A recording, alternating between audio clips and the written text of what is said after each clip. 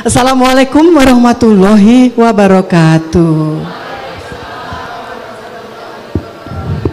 Assalatu wassalamu ala asrofil anbiya'i wa mursalin wa ala alihi wa ajmain. Amma Saya sambil mungkin berdiri ya, boleh nggak sih?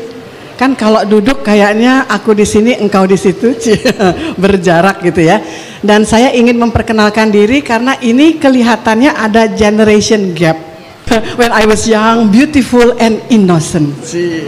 Long time ago gitu ya. Kayak cerita Cinderella gitu. Sekarang saya sudah semakin bertambah usia, tidak muda lagi ketika saya merasa bahwa sebagai insan ingin sekali menjadi insan kamil dan berbagi terhadap ilmu sambil sekaligus menuntut ilmu.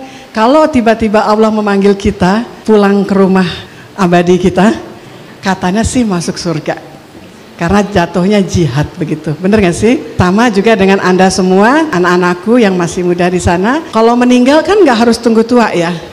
Juga gak harus tunggu sakit. Kapan pun Allah memanggil, ya begitulah ya. Nah, tapi during this period of time, saat kita masih hidup, tentu kita harus melatih diri, menambah kompetensi, baik hard skill maupun soft skill.